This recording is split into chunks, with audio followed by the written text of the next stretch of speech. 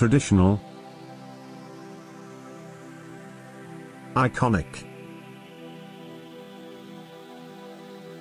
Famous. Successful. Historic.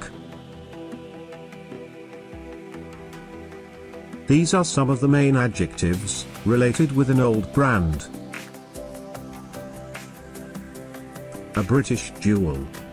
That sparkled a lot among the first cafe racers in the world. And the Thruxton is alive since 2004. Twelve years later, the moment of retirement arrived. Because there is a new kid in town.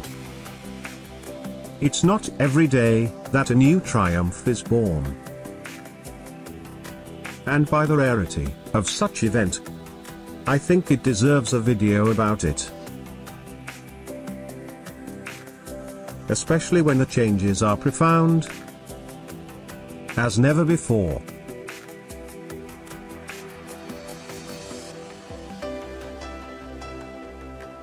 Welcome.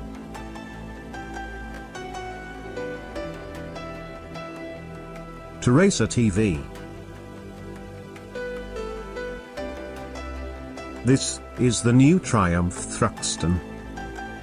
A completely new motorcycle. Everything is different from the previous model. Especially the stance.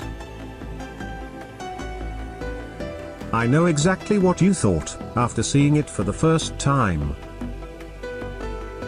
This one. And also this one. A Ducati Sport Classic. And the Royal Enfield Continental GT. Am I right? I usually don't appreciate similarities with competitors. But this time, I think Triumph did a great job. It still looks a British machine, with an Italian flavor. Something never done before. And I like it. Despite Triumph presenting five new machines for this year, I will concentrate only on the Thruxton model. Especially, the Thruxton R. Because according to Triumph, it's the closest as a manufacturer can get to a road legal cafe racer machine. And therefore, the most interesting of all. These five new models include 6-speed gearboxes, standard ABS, and switchable traction control. The new engine is now a high compression 1.2 with a lot more torque than the previous generation. 62% more to be exact. The differences between the normal Thruxton and the R version are not only cosmetic. As you can see, the suspension and brakes are totally different. But I'm not going to describe all the technical data. I'm more interested in the design perspective. I think there's something strange with the front headlight. You won't find nothing wrong in this photograph.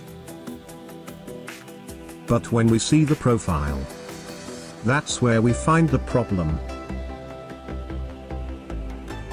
Looks too prominent for this kind of lines. I made some changes on Photoshop, and I think it became much better. This made me wonder, why Triumph designers didn't saw this improvement. I'm only guessing here, but I think they made it on purpose.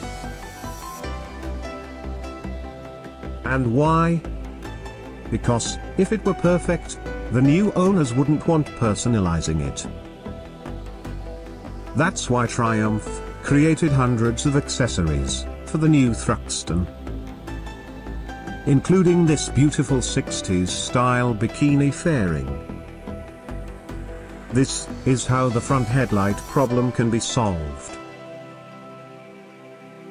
In general, Triumph wants you to finish the bike, according to your personal taste. And I think they nailed it. Because, that's exactly, what we like to do. Thank you for watching Racer TV. And as always, I hope to see you next week.